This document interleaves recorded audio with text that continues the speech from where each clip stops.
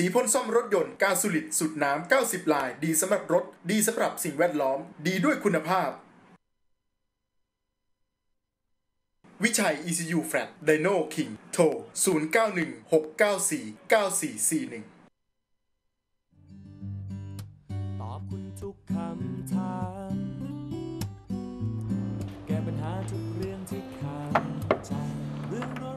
สวัสดีครับคุณผู้ชมครับขอต้อนรับคุณผู้ชมเข้าสู่รายการนี้ครับนี่คือรายการ Speed Talk เรื่องราวของเครื่องยนต์กลไกอะไหล่และก็ตัวถังนะครับพูดคุยกันสดๆครับทาง Speed Channel Television 691 ครับคุณผู้ชมสามารถรับชมสดๆเข้ามาพูดคุยแลกเปลี่ยนประสบการณ์ และส่งคำถาม หรือเป็นกำลังใจให้พวกเราได้ 3 ช่องทาง ทางเว็บไซต์ speedchannel.co.th Facebook Fanpage Speed Channel และอีกหนึ่งช่องทางทาง YouTube Speed Channel Official ทาง YouTube คุณผู้ชมสามารถรับชมสดๆ และดูรายการย้อนหลังได้ตลอด 24 ชั่วโมง ครับคุณผู้ชมท่านใดนะครับที่มีปัญหาเรื่องรถก็สามารถโทรเข้ามาได้ที่หมายเลข 02 530 9496ถึง98 นะครับ SMS มาที่ 482 7772 พิมพ์ 4 เว้นวรรคตามด้วยคำถามนะครับ แล้วก็ต้องขอขอบคุณนะครับ ดอกไม้ที่สวยนะครับจากมิสซิลลี่ 02 970 8000 คิดจะส่งดอกไม้คิดถึงมิสซิลลี่นะครับ ขอบคุณซูบารุประเทศไทยครับ และขอบคุณ Iron Man 4คูณ4ปลอดภัยกว่า แข็งแรงกว่าคุ้มค่ากว่า 027519588 ขอบคุณ c t e c ครับ เครื่องชาร์จแบตเตอรี่อัจฉริยะจากประเทศสวีเดนครับอะไปดูเรื่องราวเรื่องแรกครับ วันนี้เรื่องราวของไฟฉายนวัตกรรมที่ต้องบอกว่าไฟฉายตัวนี้นะฮะต้องบอกว่ามันมีคุณสมบัติพิเศษ แล้วเราก็บอกว่าเราจัดแพ็กเกจมาเราเห็นว่ามัน work ครับ เราก็เลยนำมานำเสนอให้คุณผู้ชมเผื่อว่าคุณผู้ชมจะได้เอาไปใช้ เพราะว่าตัวนี้เนี่ยต้องบอกว่าเป็นไฟฉายที่มาจากประเทศญี่ปุ่นนะฮะ ครับ แต่ว่าผ่านการรับรองมาตรฐานโดยประเทศสหรัฐอเมริกา ไปดูเรื่องราวของไฟฉาย Gentos ครับ คุณกำลังประสบปัญหานี้อยู่หรือไม่ กับไฟฉายที่มีอยู่ให้แสงสว่างที่ไม่เพียงพอ วันนี้เรามีทางออกสำหรับคุณกับไฟฉายนวัตกรรม LED แบบใหม่ ที่ให้ทั้งแสงสว่างและความทนทานที่มากกว่า และฟังก์ชันที่สะดวกต่อการใช้งาน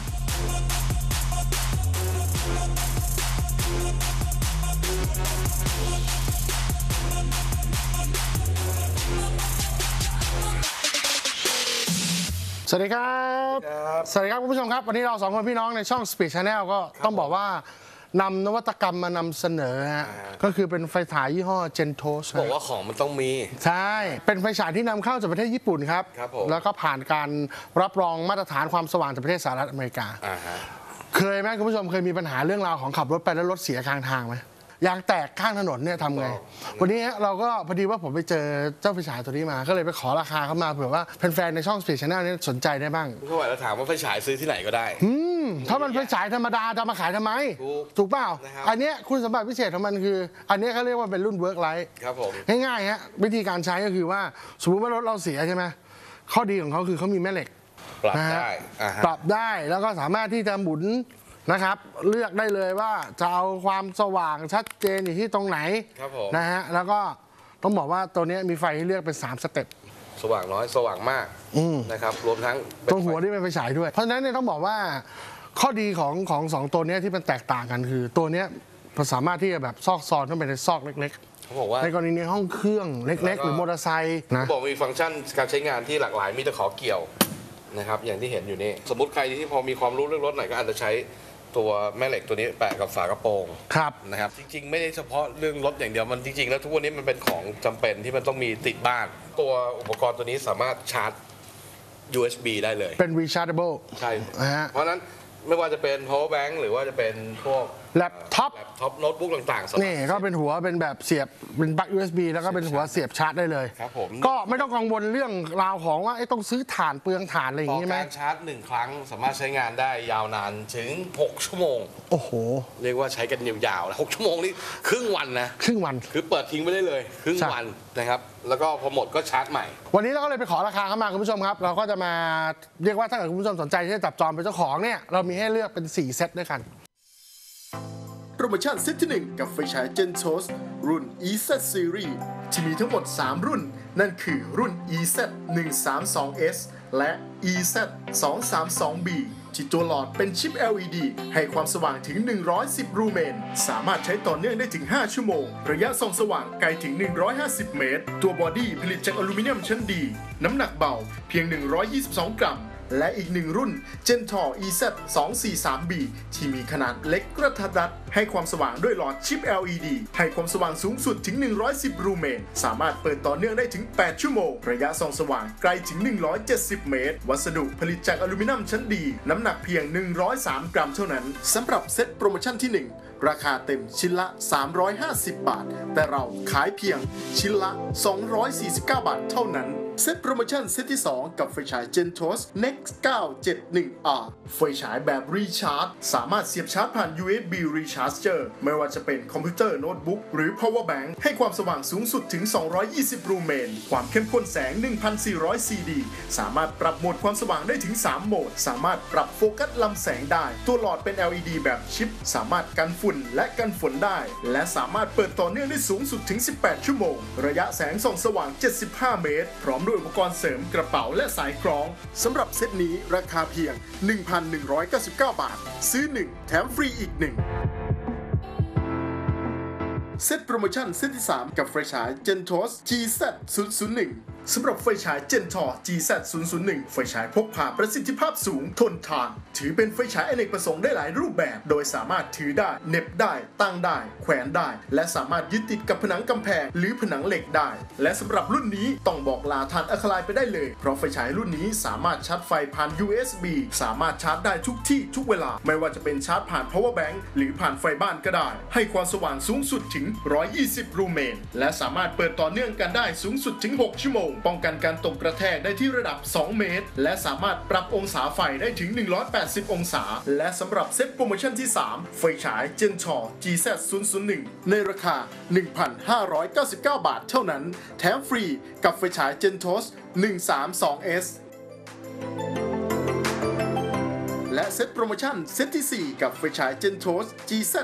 200 ไฟฉายรุ่นพกพา เหมาะสำหรับงานซ่อมบำรุง สิ่งออกแบบให้เหมาะกับการส่องสว่างในพื้นที่แคบ มีหลอดไฟถึง 2 ดวง ทั้งตัวหลักและไฟด้านบน สามารถปรับองศาคอได้ถึง 360 องศา สามารถชาร์จไฟผ่าน USB ถือเป็นไฟฉายอเนกประสงค์ที่ใช้งานได้หลายรูปแบบ ไม่ว่าจะเป็นถือ เน็บตั้ง ขวน และสามารถยึดติดกับกำแพงหรือผนังเหล็กได้ ด้วยนวัตกรรม LED chip light ทำให้ไฟฉาย Gentos รุ่น GZ 200ให้ความสว่างสูงสุดถึง 100 ลูเมน และสามารถใช้ต่อเนื่องนานได้สูงสุด 8 ชั่วโมง องศาของลำแสงกว้างถึง 130 องศา สามารถป้องกันการตกกระแทกที่ระดับ 2 เมตร ป้องกันฝุ่น และน้ำ โปรโมชั่นเซตที่ 4 กับไฟฉายเจนทอ GZ 200ในราคาเพียง 1,699 บาท แถมฟรีไฟฉาย Gentos EZ 2 4 3 b มูลค่า 350 บาท ต้องบอกว่าเป็นตัวหลอดเป็น LED ที่มีความคงทนนะครับนะใช้งานได้ยาวนาน ขอย้ำอีกครั้งหนึ่งนะฮะนำเข้าจากประเทศญี่ปุ่นนะครับรบแล้วก็รับรองความสว่างโดยประเทศสหรัฐอเมริกา สนใจโทรมาที่เบอร์นี้ครับที่เราขึ้นไว้ครับ 8 6 6 6 7 6 0 6 6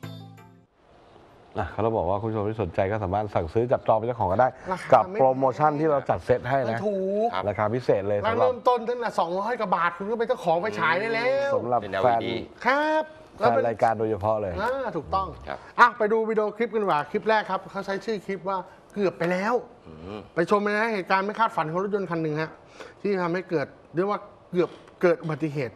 ดีว่าไม่มีใครเป็นอะไรไปชมครับ บ้านเรานี่แหละครับ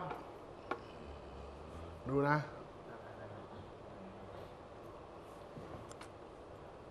นี่ประตูหน้าซ้ายก็ปิดไม่สนิทแล้วเนี่ยวิออสขนาดทำไมรถมันค่อยๆไปอย่างนั้นอะอ่ารถไหลอะเขาบอกไม่มีคนอยู่ในรถนะ รถมันไหลออกมาแล้วเนี่ย ดูดิจอดรถไว้แล้วลงไปไหนอะเออจอดรถแล้วก็ลงไปไหนนี่คือรถไหลนะไม่ใช่รถวิ่งนะเนี่ยเออจังหวะ ถนนโอ้โหถ้ามีว่งใครมาชนทำไงอะเออนี่ดูเดี๋ยววิ่งเจ้าขอตางมรรถถเพิ่งวิ่งตามมาเอาโอ้โหเอาเอาเอาจะวิ่งชนมอไซค์เอา มีเด็กอยู่ในรถด้วย